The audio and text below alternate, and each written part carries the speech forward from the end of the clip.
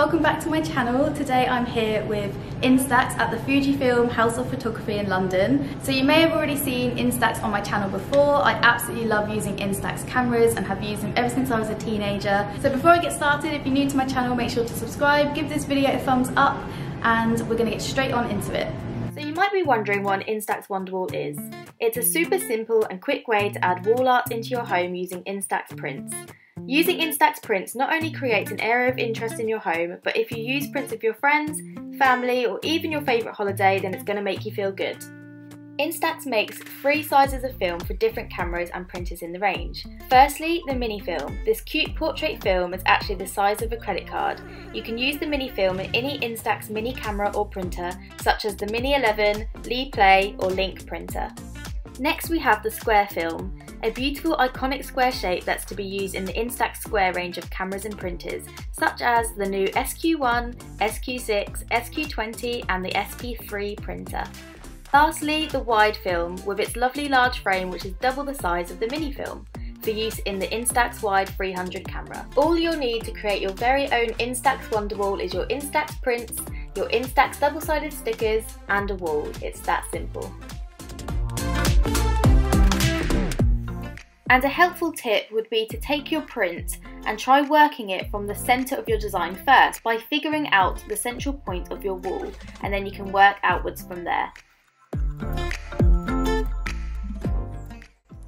There are so many designs that you can do and I'll show you a few examples in this video including this amazing checkerboard design.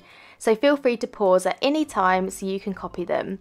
Make sure to share your Wonderwall creations with us on Instagram and tag me at Paige Joanna and Instax because we'd absolutely love to see your final results. Or you can just comment below and let us know which one is your favourite.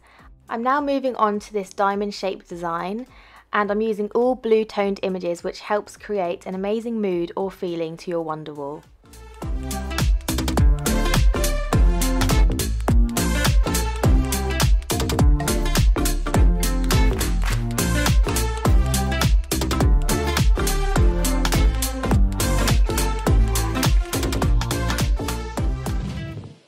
I'm now moving on to word designs, so you can also check out my guest post on the Instax blog and I'll leave a link in the description box below. It will have lots of details on how to create your own designs, just like this one.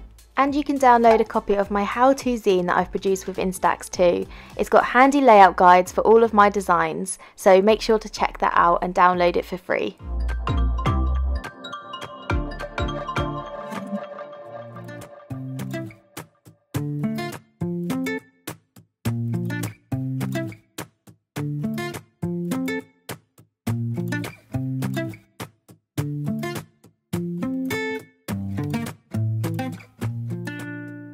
And now for my ultimate favourite is corner designs. Often corners are left untouched for wall art, so even in small spaces you can create incredible results.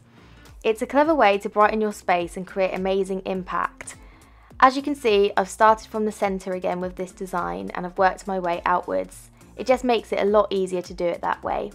And you can get super creative just like this and go as high as you want to. It's completely up to you how bold you go.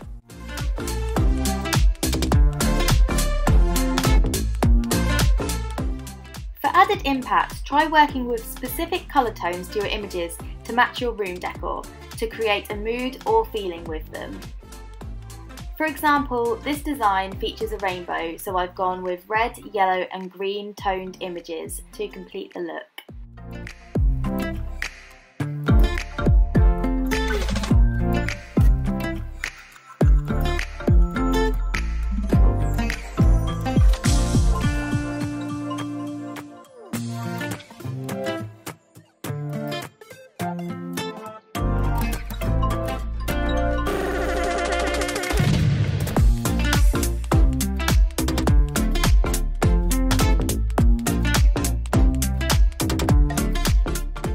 And now for the star design, last but not least, it's got the ultimate wow factor.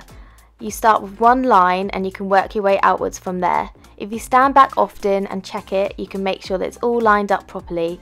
And it takes a little while to do, but it looks incredible when it's done.